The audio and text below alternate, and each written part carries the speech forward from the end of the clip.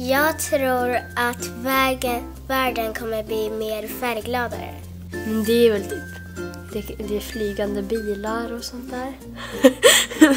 Det kommer kanske vara mer apparater och de har uppfunnit massor med andra saker.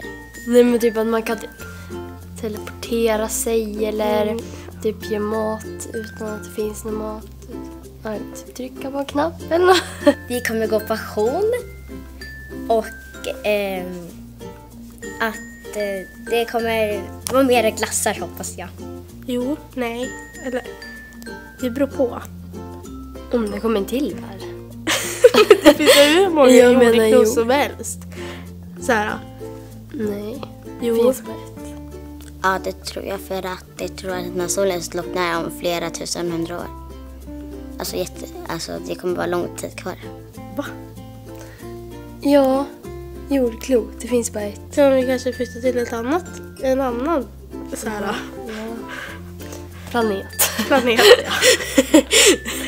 Ja,